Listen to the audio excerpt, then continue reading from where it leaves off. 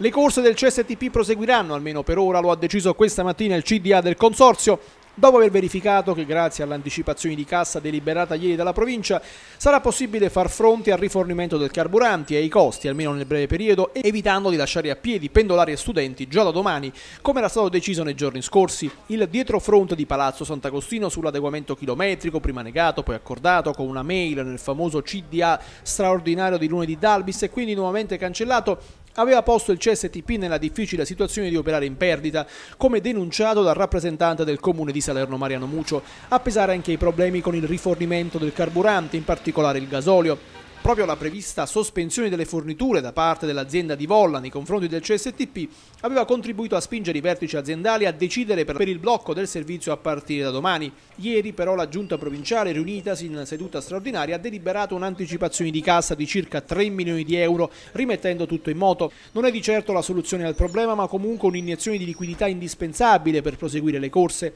Contemporaneamente, ha annunciato il presidente Santocchio questa mattina, saranno diffidati gli enti affinché adeguino il corrispettivo chilometrico e mettano a punto un piano di rientro dai propri debiti contratti con il consorzio.